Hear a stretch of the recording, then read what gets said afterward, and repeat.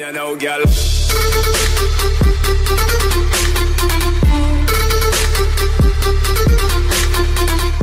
Loạt bí mật động trời của Trấn Thành qua lời kể của bầu sô Lần đầu tiên, khán giả sẽ được biết những thói quen và câu chuyện không thể nhìn cười của MC Trấn Thành. Qua lời kể của ông Bầu Thông Đà Nẵng, người anh em rất thân thiết với Trấn Thành, lần đầu tiên khán giả sẽ được biết những thói quen và câu chuyện không thể nhìn cười của MC Trấn Thành. Vốn là một nghệ sĩ hài, lại sẵn năng khiếu diễn xuất, nên chiến Thành rất dễ dàng bắt chước lại điệu bộ, giọng nói của một người nào đó. Tận dụng lợi thế này, chiến Thành luôn tạo ra các tình huống hài hước mỗi khi đi diễn. Khi đi diễn ở đoàn, trước khi lên sân khấu lúc nào chiến Thành cũng nhái cách thức biểu diễn của tất cả các nghệ sĩ như Lâm Chi Khanh, Minh Vương, Ngọc Sơn, Chi Vân, vân vân. Và đôi khi còn nhái cả giọng nói và khuôn mặt của trưởng đoàn. Ông Bầu Thông Đà Nẵng vui vẻ tiết lộ sở thích của MC chiến Thành. Nhận xét về sở thích hài hước của Chiến Thành, ông Bầu Thông Đà Nẵng chia sẻ, Chiến Thành đúng là tiếp người mà mọi người thường gọi là biệt danh tài lanh, vừa có tài vừa nhanh nhẹn, đặc biệt là cách ứng xử với khán giả và chọc vui cho đồng nghiệp mỗi khi đi diễn mệt mỏi.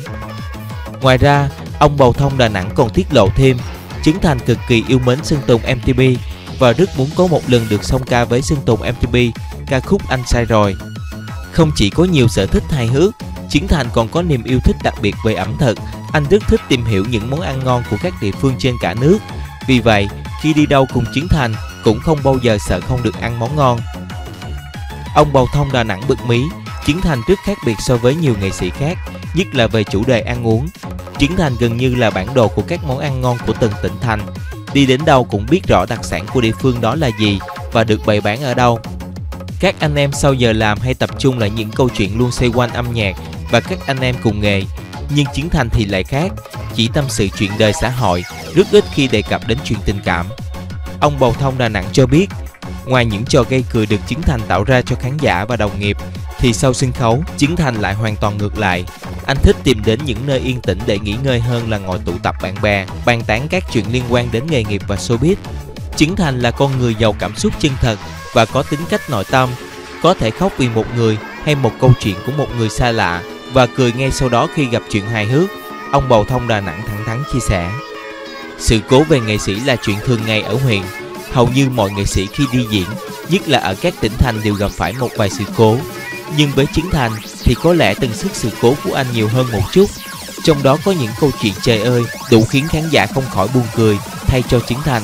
Ông Bầu Thông vui vẻ tiết lộ, có đợt chạy sâu ở ba Hội An, do đến sớm nên Chiến Thành và mình kiếm quán sữa nào uống. Vừa bước xuống xe là chị chủ quán ngay lập tức chạy đến và thốt lên, chứng Thành, chứng Thành. chứng Thành vui vẻ chào lại, tiếp tục là câu hỏi của chị bán sữa. chứng Thành MC phải không? chứng Thành đáp dạ. Ngồi xuống uống sữa được 5 phút, chị bán sữa lại tiếp tục hỏi phải chứng Thành MC ở Sài Gòn không? chứng Thành đáp dạ. Ngay lập tức chị bán sữa đáp, láo, chị mới vừa thấy Chiến Thành trên TV đó mà, giả mạo. Đến lúc này, Chiến Thành chỉ còn biết cách im lặng và không còn lời nào để giải thích. Hay những tình huống khi đi diễn tỉnh, Chiến Thành đều có cách xử lý hết sức thông minh và nhanh nhẹn. Đặc biệt, với những khán giả quá khích khiến nghệ sĩ ngượng đỏ mặt, thì tài chặt chém khi làm MC của Chiến Thành được đem ra xử lý một cách hữu hiệu. Khi diễn tại ba Tam Kỳ, hát xong, Chiến Thành muốn kể câu chuyện vui cho khách. Ngay khi giới thiệu xong câu chuyện thì có anh khách nói là câu chuyện đó nghe rồi, không vui. Ngay lập tức, Chiến Thành xin phép mời anh khách đó lên sân khấu kể chuyện, nhưng anh khách đó từ chối không lên. Trước tình huống đó, Chiến Thành nói ngay, các bạn trẻ Tam Kỳ chú ý, hiện tại có một số thanh niên đang có tư tưởng như lệ rơi, các bạn cẩn thận khi đứng gần. Câu nói vừa hài hước và vừa chê trách này của Chiến Thành ngay lập tức được khán giả hưởng ứng vỗ tay và anh khách kia buộc phải tính tiền về sớm. Bên cạnh đó, Chiến Thành còn là tâm điểm mọi khi xuất hiện, để rồi chính vì quá hút khán giả nên cũng có nhiều tình huống không như mong muốn xảy ra. Khi đi diễn ở Trà Vinh, do khán giả quá đông nên một số thanh niên đã leo lên cả nóc của trường học để xem.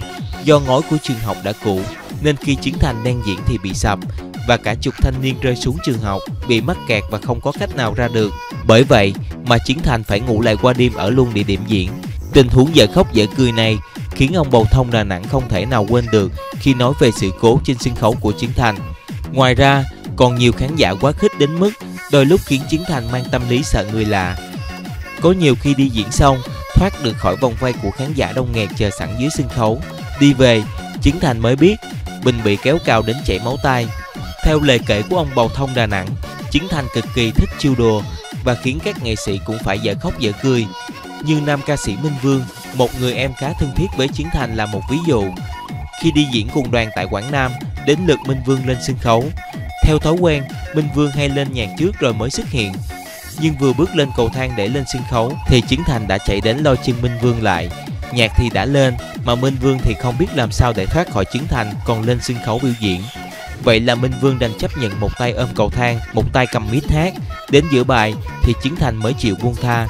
Bước lên sân khấu với một khuôn mặt đáng thương, Minh Vương chỉ còn biết nhìn xuống Chiến Thành mà không nói nên lời. Vậy là cả đoàn có một chuyện cười hả hê. Ông Bầu Thông Đà Nẵng hào hứng kể lại. Ngoài việc tiết lộ những bí mật chưa từng bực mí về Chiến Thành, ông Bầu Thông Đà Nẵng còn nhiều lần nhấn mạnh rằng người bạn của mình rất khác biệt so với nghệ sĩ khác. Dù có làm cho những người xung quanh quá nhiều tình huống khó đỡ, thì Chiến Thành còn rất quan tâm tới mọi người, từ những việc nhỏ nhất, đặc biệt quan tâm tới các anh em thân thiết và cả tài xế của mình. Chiến Thành sẵn sàng cầm lái mọi khi tài xế của mình bị mệt hay có tâm trạng không tốt. Xin chân thành cảm ơn các bạn đã dành chút thời gian để theo dõi kênh của chúng tôi. Nếu thích bất cứ video nào, các bạn có thể like và share, nhưng đừng quên nhấp đăng ký kênh miễn phí để các bạn có thể theo dõi được nhiều video hấp dẫn khác từ chúng tôi. Xin chào và hẹn gặp lại!